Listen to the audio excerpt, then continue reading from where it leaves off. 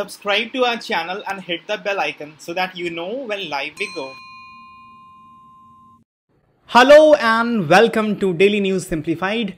In the next 35 minutes, I'm going to take you through today's newspaper, The Hindu, Delhi edition, dated 12th November 2020. We are going to take up important articles and discuss them from the civil service examination perspective.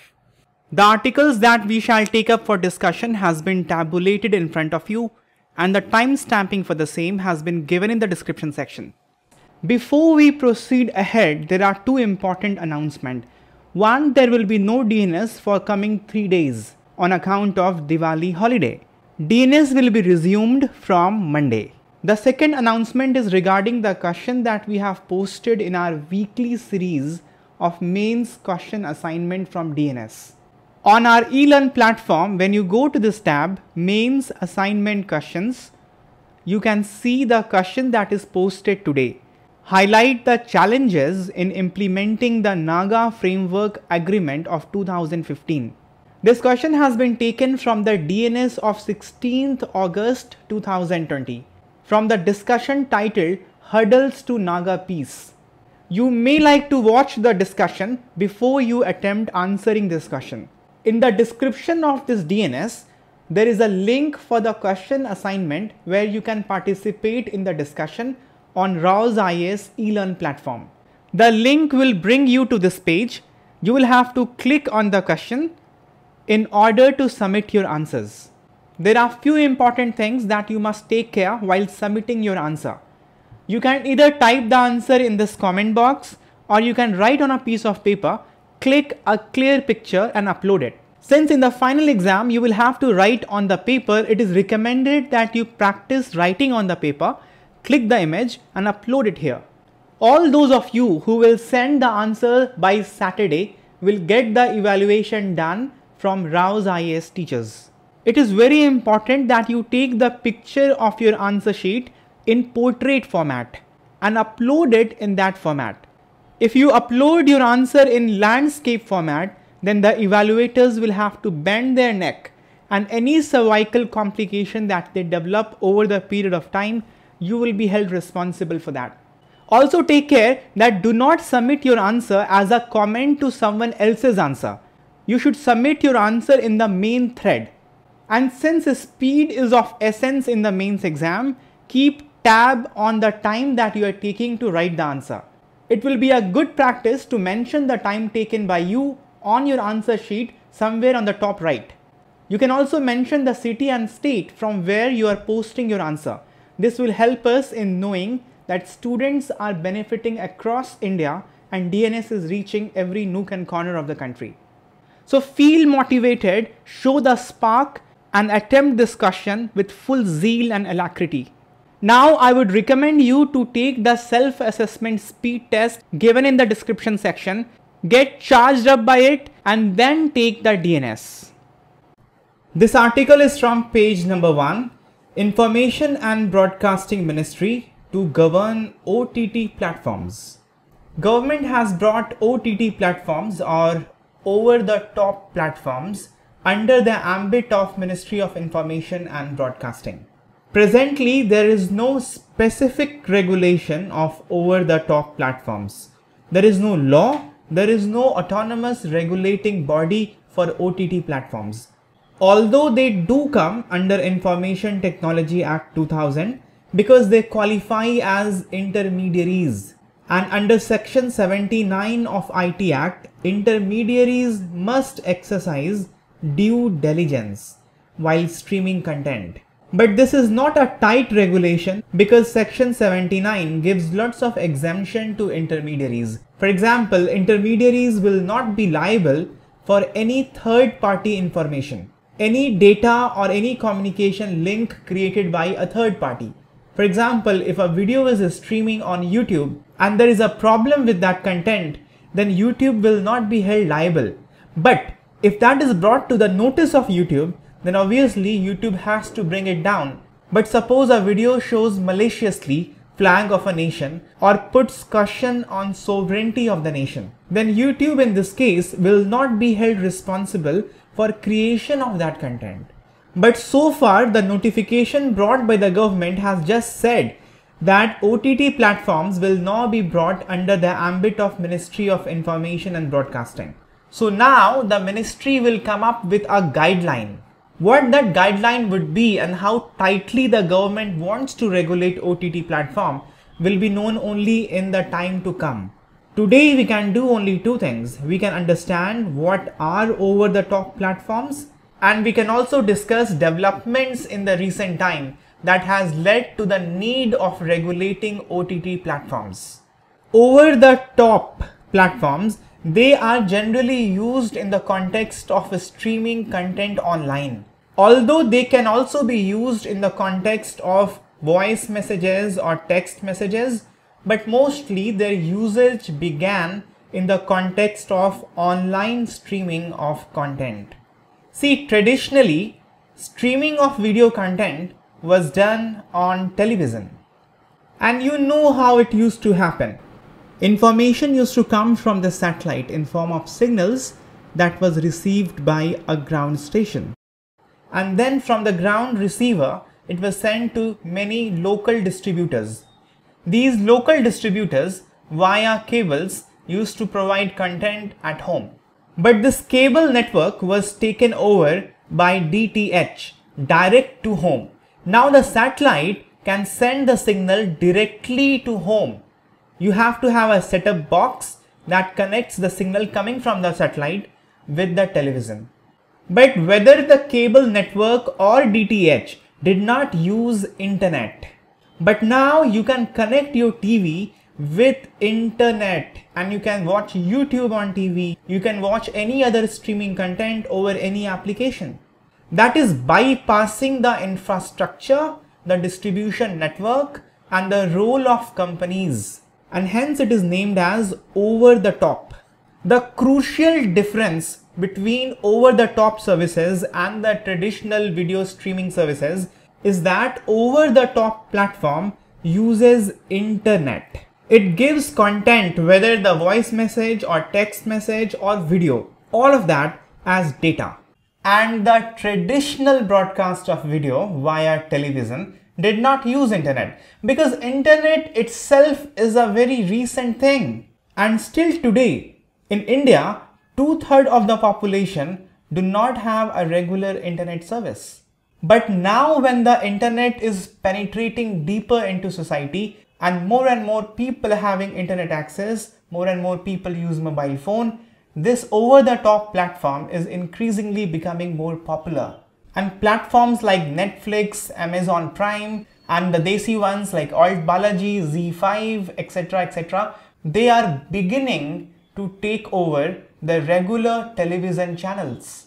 Now let us talk about as to why there is a need for regulating over the top platforms. See, regulation is part of governance. If you look at the syllabus of GS paper 2, you find a section of regulatory bodies. Because there are various claims from different sections in society, it is the job of the government to balance the rights and duties of citizens, to bring justice, equality in society. That is a constitutional promise that government has to fulfill. So regulation is a very important job of governance in any country. And in a diverse country like India, where there is diversity in religion, economic status, caste, language, there is all more need of regulation by the state. Various kind of need. For example, religious sentiments of minorities must be taken care of. Cartelization, aggressive takeovers, they need to be avoided. Competition has to be maintained in the economy. So a level playing field among various players have to be developed. Just like regular media comes under regulation, so the over-the-top platforms must also come. Absence of regulation will lead to absolute freedom. But every freedom comes with responsibility. Article 19, which gives the fundamental right of freedom of expression, also mentions reasonable restrictions. And among various restrictions, decency and public morality are also mentioned as ground for putting restriction on freedom of expression. It has been observed that over-the-top platform have been violating this ground of decency. Then there is a question of principle of fairness. There must be a level playing field for different players. Traditional media comes under regulatory ambit of government. For example, there is Cinematograph Act of 1952. Films and public exhibitions are certified under this act. There is Cable Television Network Regulation Act 1995 and this applies to content appearing on cable television. But as we have mentioned in the beginning, there is no specific law for regulation of content over over-the-top platforms. Then there are regulatory bodies for traditional media. For example, Press Council of India for print media. There is Central Board of Film Certification for cinematographic films. There are also self-regulatory bodies for media houses like News Broadcasters Association, Advertising Standard Council of India, Although over-the-top platforms have recently come up with a guideline for self-regulation, but there is no consensus among various over-the-top platforms regarding that guideline. Then as we have mentioned that with penetration of internet and with increased use of mobile phone, more and more number of people are now switching to over-the-top platforms. As per recent surveys, Almost 55% Indians prefer over-the-top platform over direct-to-home services. And in India, 87% people use mobile phones. According to a recent KPMG report, India will have more than 500 million subscribers on the over-the-top platforms by 2023. And during the present pandemic, the usage popularity of these platforms has skyrocketed.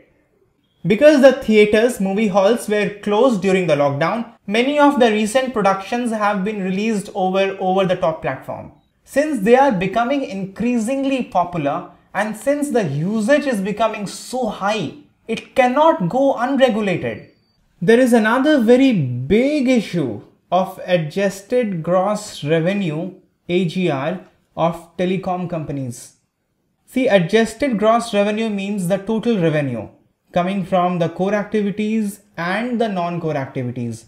For example, if Airtel is giving you telecommunication services, that is its core activity. But if Airtel suppose has some deposits or investment in HDFC Bank and it is earning something in return, that is its non-core activity. But adjusted gross revenue includes both core and non-core activity. And as per that, they have to give the licensing fee they have to give money in the Universal Service Obligation Fund, among other things.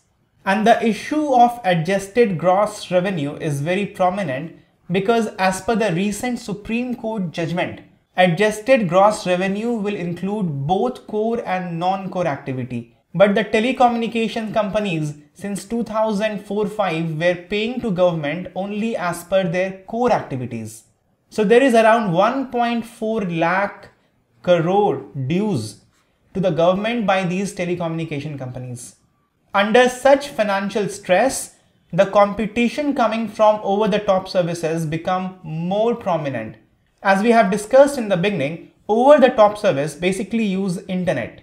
But internet comes through some infrastructure. Who has created that infrastructure? The telecommunication companies. The internet that you are able to use through your Jio SIM comes from the Jio telecommunication network infrastructure. Telecom companies have invested heavily in creating the infrastructure to bring internet to you. And the over-the-top platforms have very minuscule expenditure on the infrastructure creation. They use the internet provided by the telecom companies to make their products available to you on your phone. And they are making huge profit. So it is the grievance of telecom companies that over the top platforms must get into a revenue sharing model with these telecom companies.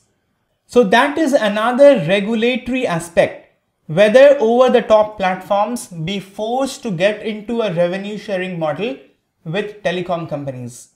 Because there is absence of legislation or regulatory body regulating these over the top platforms, there have been violations and Ministry of Health has reported violation of anti-tobacco rules in various instances. Although OTT platforms have tried to bring in self-regulation code, but there has been no consensus on the code among various OTT platforms. So that also necessitates that government must come up with a regulatory code. However, it is important that over regulation should not be done for these platforms because they are very beneficial. It is highly convenient for the consumer. You can watch anything anywhere using your mobile phone if you have internet connectivity. It also gives choice to consumers. Previously, the broadcast was on social scale. You used to watch Doordarshan, Chitrahar, the whole family watching the same content, but now the content can be personalized. You can watch whatever you wish. Over the top platform also give freedom of creativity. This new platform is relatively free from the regulations and censorship norms and also free from formulaic content generation. The general formula that the content producers, the script writers, the directors, they were following, that has been broken and new innovative content is coming up on OTT platforms. OTT platforms also have opportunities to break the accepted public morality standard and present an alternative viewpoint, for example, LGBT rights. That can be taken up more liberally, which will be very difficult on the traditional TV content. OTT platforms also give huge opportunity to new talent. You must have seen many YouTubers now gone into Amazon Prime, Netflix and other platforms which could not have been thought of under traditional content streaming. They could have never come in the prime time on television. But now this is possible. OTT platforms are more liberating, they are more democratic. There is also local to global connect. All these OTT platforms, they are mostly owned by Western foreign companies. But you must have observed the content that is coming up on these platforms, they have a local context. Local artists get more opportunity to work on these platforms and when the artists get blended, there is also a blend of ideas and culture and tradition promoting global cosmopolitanism. So although regulation is necessary, but that should not become a case of over-regulation. This news article from page number 10 has been titled Home Ministry Amends FCRA Rules. Foreign Contribution Regulation Act rules. Home Ministry has relaxed the norms for farmer, student, religious and some other organizations who are not directly aligned to any political party and who are not involved in active politics. If these student farmers or religious groups they are not aligned to any political party and they are not involved in any active politics then they cannot be classified as organization of political nature. And if they cannot be classified as organization of political nature, then they cannot be prohibited from taking foreign fund under Rule 3 of Foreign Contribution Regulation Rules 2011.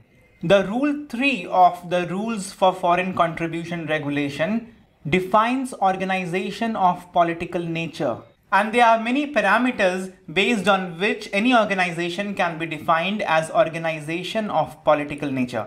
First, suppose the organization has stated political objective. Then obviously it is organization of political nature.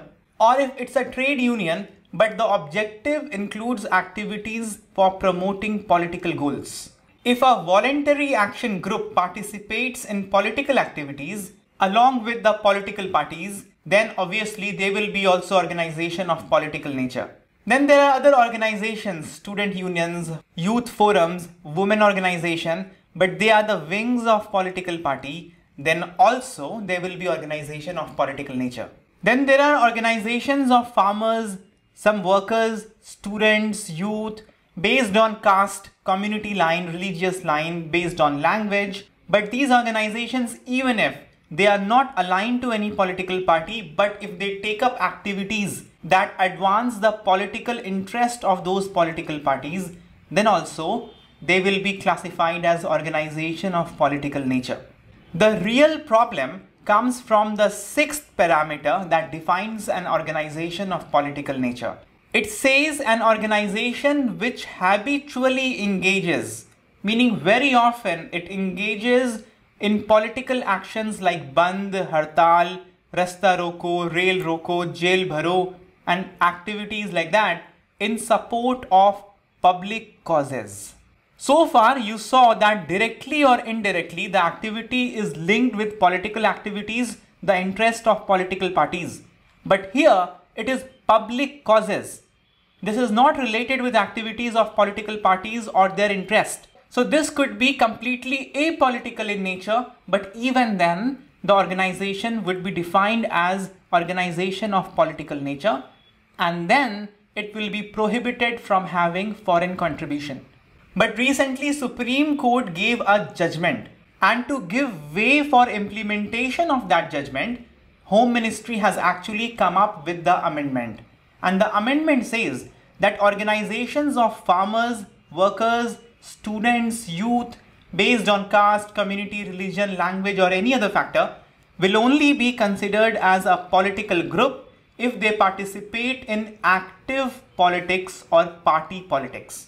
Meaning, if they are taking up public causes, then they will not be defined as an organization of political nature, which effectively means they will still have the right to have foreign contribution to carry forward their activities. Now let me quickly give you the summary of the Supreme Court judgment that effectively required this amendment. Supreme Court said that central government cannot brand an organization as political to deprive it from receiving foreign funds under Foreign Contribution Regulation Act 2010 for legitimate form of dissent to aid a public cause. But we have seen here one of the criteria to define organization of political nature was also if organization is involved in certain activities in support of public causes. But the judgment of Supreme Court is saying that if it is a legitimate form of dissent to aid a public cause, then you cannot brand the organization as political in nature to deprive it from receiving foreign fund. Since the judgment said this, so the amendment was necessary. The judgment said that it will be required to be proven that activities which are being taken to aid public cause are part of active politics or to aid political cause but de facto they will not be considered as organization of political nature. Supreme Court observed that any organization which supports the cause of a group of citizens agitating for their rights without a political goal or objective cannot be penalized meaning they cannot be branded as political organization and their right to get foreign contribution cannot be taken away. Supreme Court also said that organizations supporting bandhs need not be a political organization because their cause need not be a political cause. The bandhs can also be called by farmer organization to make their grievances heard, but they may not have any political goal. If you see the present farmer protest going on in Punjab, Haryana, they do not have political leaders as face of the movement or protest. Farmer leaders themselves are leading the protest. So definitely they are not political in nature. Or if they are, that needs to be proven by default they cannot be declared as political organizations. Supreme Court said that a balance has to be drawn between the objective of the legislation, FCRA, and the right of the voluntary organizations to access foreign fund. The objective of FCRA is to preserve the values of our republic.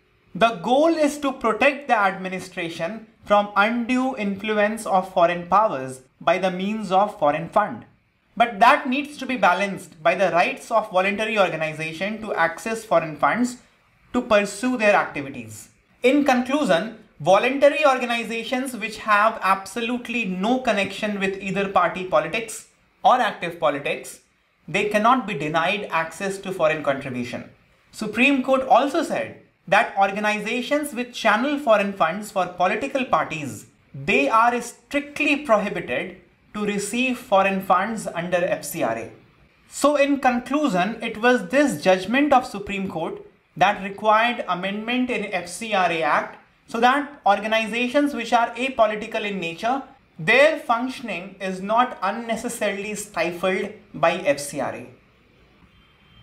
There is an important news on economy on page number 14. GDP shrank 8.6 percentage in the second quarter, pushing economy into a recession. See, yesterday RBI has come up with numbers on GDP and the number shows that Indian economy has rebounded sharply. In the first quarter of financial year 2021, the GDP contracted by 23.9 percentage.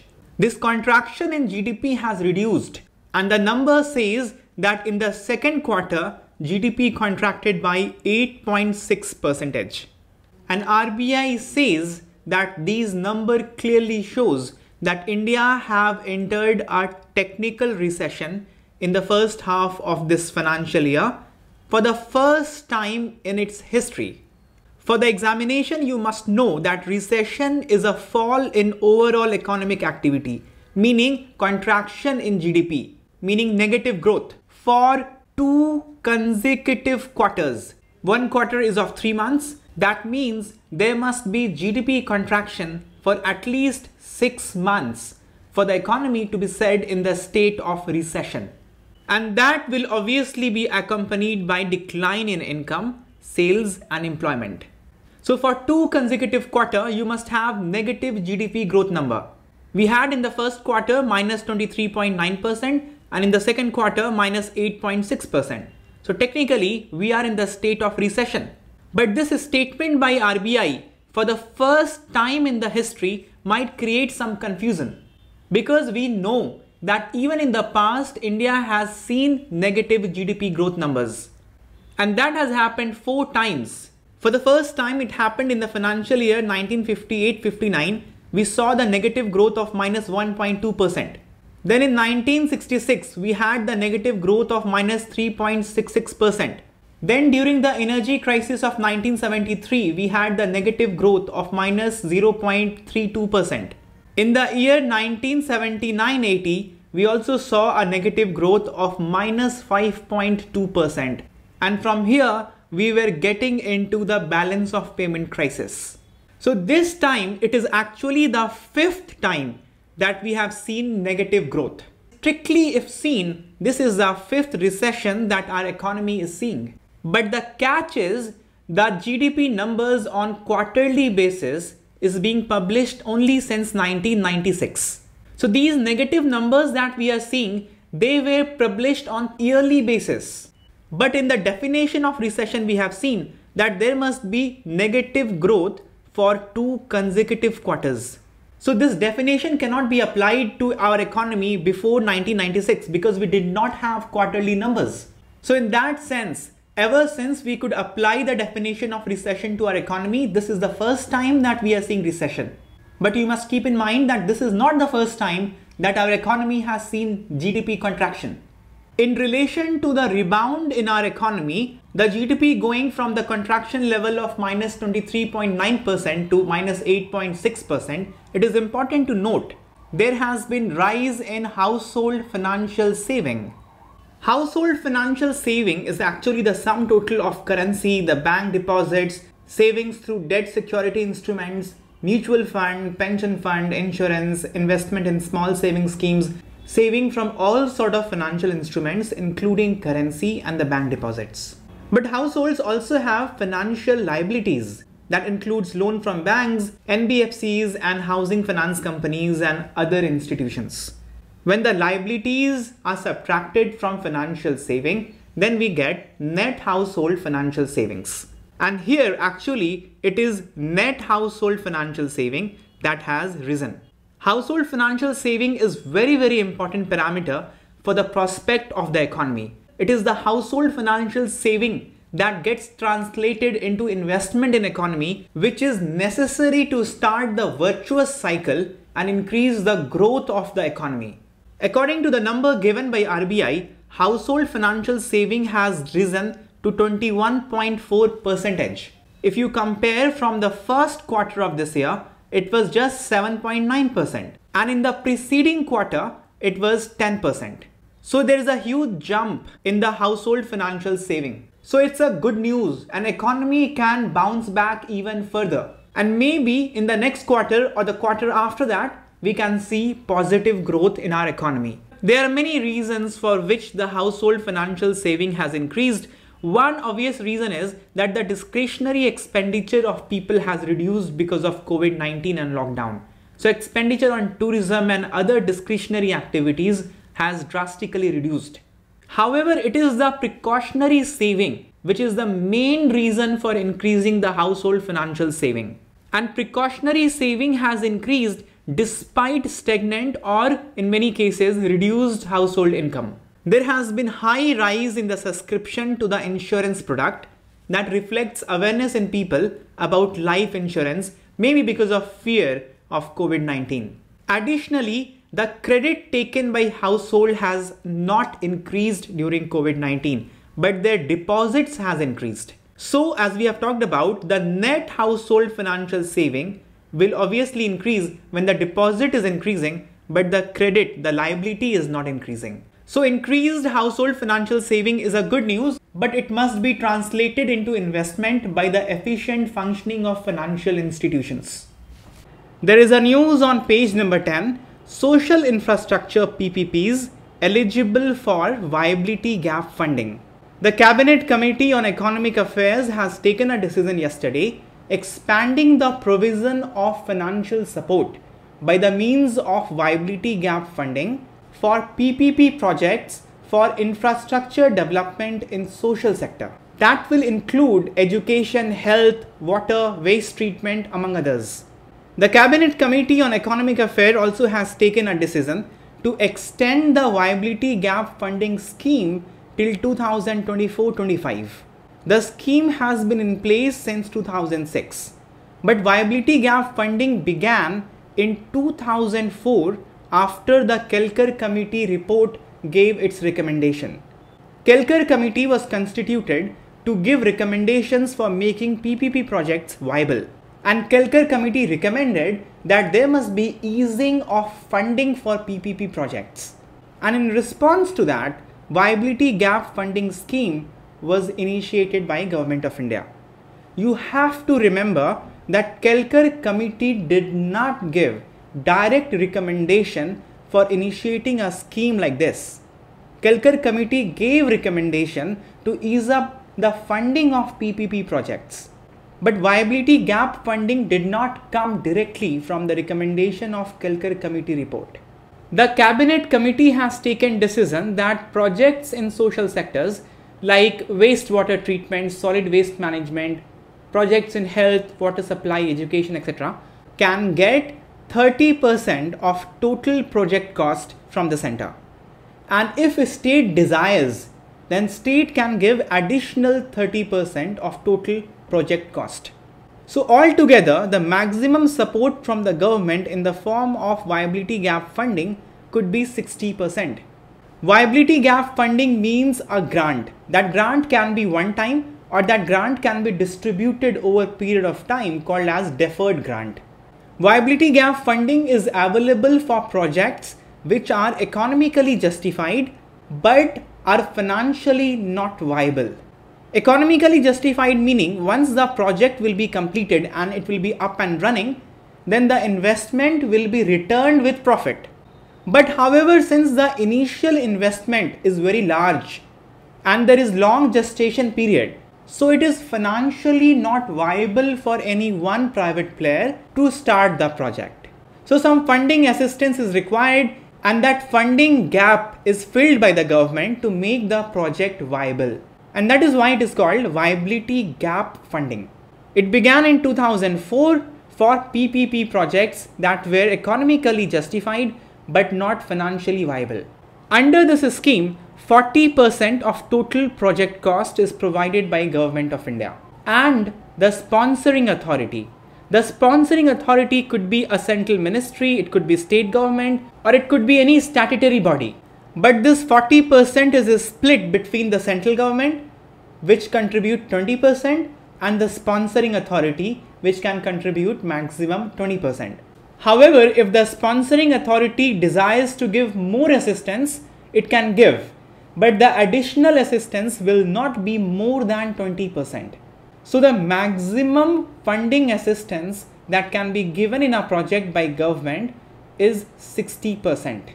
20, plus 20 plus 20. And we have seen that in case of social sector project, maximum assistance could be 60%, 30% plus 30%. But the government has announced two sub schemes to finance the social sector project. Under sub scheme 1, those projects will be catered which have at least 100% operational cost recovery. Meaning whatever your cost is going to run the project, you are at least recovering that. You're not making profit, but you're not going in loss. Obviously, it will be based on some estimation. And for these projects, the central government will provide maximum 30% of total project cost and the sponsoring authority will provide additional 30%, maximum of 30%.